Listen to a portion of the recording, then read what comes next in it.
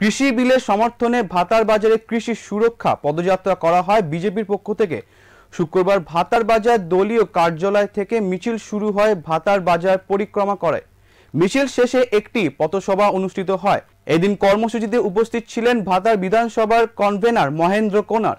ভাতার ব্লকের বিজেপির তিন মণ্ডল সভাপতি রাজকুমার হাজরা, সুস্মিতা হাতি ও প্রশান্ত মাঝি সহ অন্যান্যরা। আজকে মাননীয় প্রধানমন্ত্রী নরেন্দ্র মোদী যে কৃষি বিল ইয়েটা করেছিল, আইনটা পাস করেছিল আমাদের মাননীয় রাষ্ট্রপতি সেই আইনে বিল পাস করে দিয়েছে। তা ওই সমর্থনে আমাদের আজকে মিছিল। কৃষকরা যাতে সঠিকভাবে সঠিক মূল্যে ধান বা ফসল বিক্রয় করতে পারে এবং সঠিক মূল্যে কিনতে পারে, মাঝে যাতে কোনো দালালি না হয়।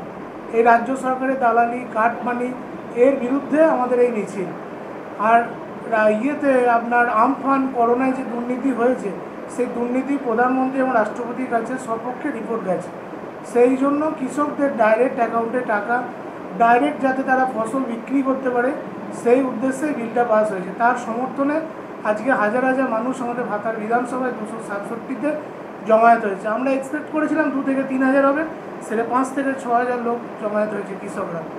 আমাদের আনএক্সপেক্টেড লোক হয়েছে। তাহলে যা একবার দাঁড়াও তো।